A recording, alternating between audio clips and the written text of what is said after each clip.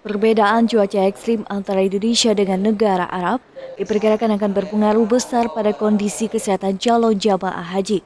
Terlebih saat melakukan ibadah haji, ada peningkatan aktivitas yang harus dijalani calon jamaah.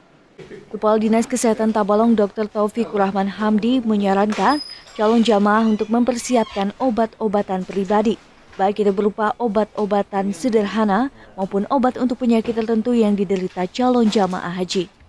Ya, yang perlu dibawa adalah obat-obatan yang sifatnya untuk membantu ya di sana, seperti obat-obatan anti nyeri ya, obat-obat untuk yang keperlu eh, kaitannya dengan paslin ya, kemudian untuk yang penyakit-penyakit apa seperti mah dan sebagainya itu perlu dibawa. Namun bisa juga dibawa adalah obat-obat yang terkait dengan penyakit yang diderita sesuai dengan resep dokter ya, di mana dia harus memang selalu rutin minum obat. Contoh untuk penyakit tertentu seperti darah tinggi ataupun kencing manis. Nah itu harus dibawa oleh e, para jemaah.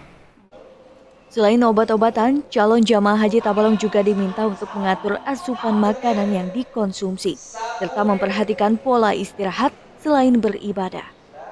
Muhammad Aditya, TV Tabalong melaporkan.